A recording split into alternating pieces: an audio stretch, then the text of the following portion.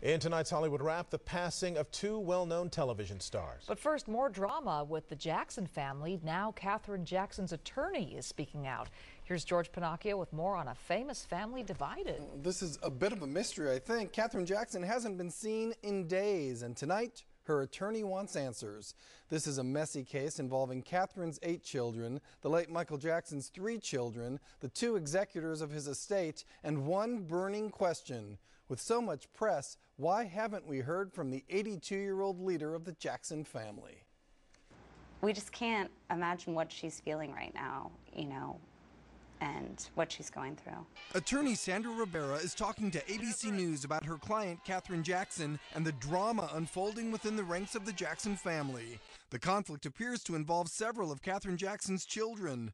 In a letter leaked last week, they claim John Branca and John McClain, the executors of Michael Jackson's estate, are manipulating their mother. They want the two to resign.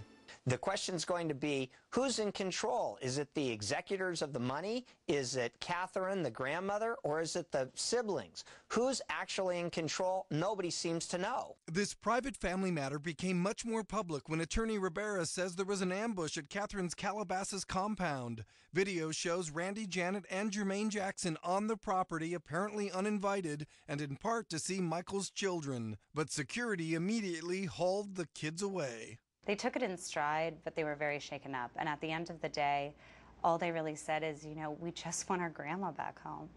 On Al Sharpton's show on MSNBC, Randy Jackson claimed family members went to the house to let Michael's kids know they can visit or talk with their grandmother at any time. Her health was ailing, uh, and it was doctor's orders that she get immediate rest, uh, kind of isolate, isolate herself from the outside world and rest.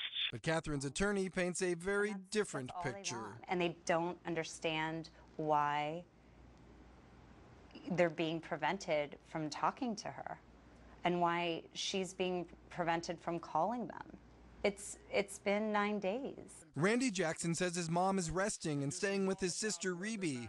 Rivera says Katherine is mentally as sharp as a tack, but may be unaware of this entire situation. She doesn't have access to her cell phone. She doesn't have access to the internet. Um, who knows if she has access to television? Why doesn't Katherine just call the kids? Why can't she? She's being prevented from doing it By who? by the people that she's staying with.